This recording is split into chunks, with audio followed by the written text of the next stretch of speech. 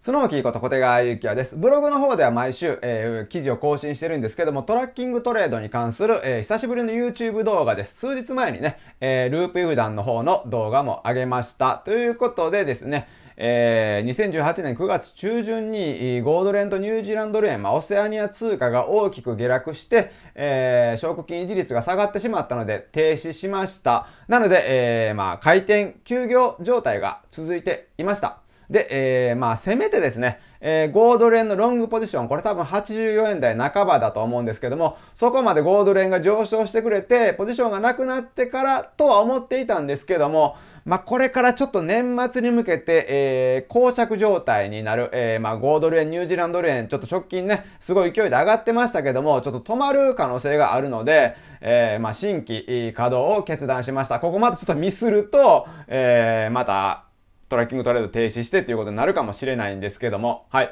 で、えー、今回稼働したのが、えー、こちらの設定ですね。えー、トラッキングトレードの場合は、まあ、選ぶっていうこともできるんですけども、まあ、基本的には自分で、え、設定する人が多いのかなと。はい。で、え、今回、カナダドル円、はい、にしました。で、1000通貨で、えー、ポジション間隔は20.0。で、えー、最大ポジション数は50ということで、ここご覧ください。想定変動幅1000ピップスに耐えられる設定にしています。まあ、稼働時点ですけどね。で、ちなみにこの20っていうのはループイフダンにもあるんですよ。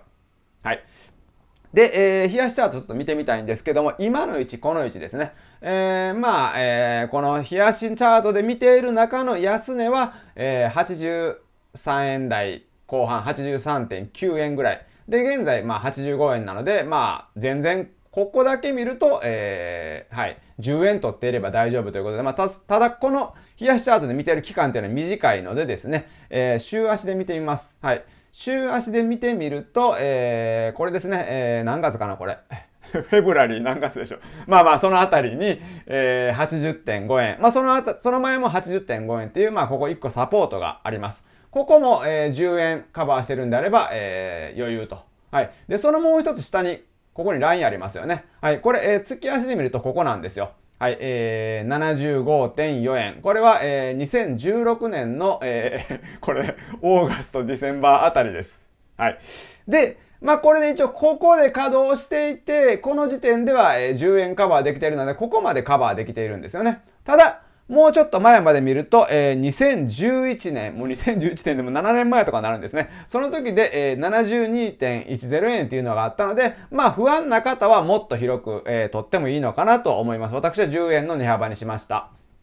で、まあ、カナダドル円って私今まであんまりやってこなかったんで、えー、ちょっとまあいろいろまあ見てみたんですけども、まあ、5ドル円とかニュージーランドドル円よりもやや穏やかかなと。年間の変動率で見ると、えー、この2つの通貨ペアよりは小さい。なのでですね、えー、リピートの回数は減るかもしれません。リピートっていうのは新規決済、新規決済っていうこの、こういう動きですね。は減るかもということです。で、えー、必要証拠金は5ドル円より、えー、やや多く必要。まあ、現時点の5ドル円の、えー、為替レートよりもカナダドル円の為替レートの方が、えー、ちょっと高いので、はい、やや多めかな。とは言っても、米ドル円よりは、えー、少ない。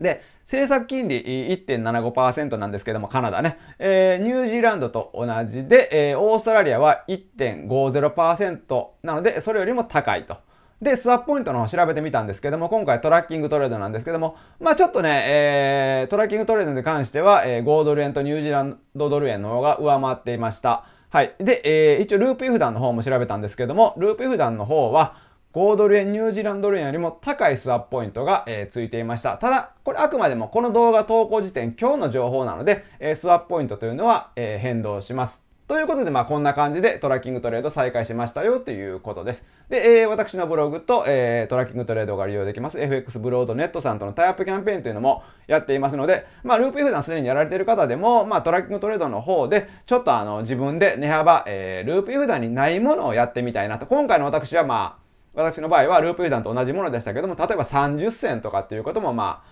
えー、トラッキングトレードだとできるんで、はい。ということで、えー、今回の動画は以上になります。最後までご覧いただきありがとうございました。動画概要欄にはいくつかの URL を貼っておきたいと思います。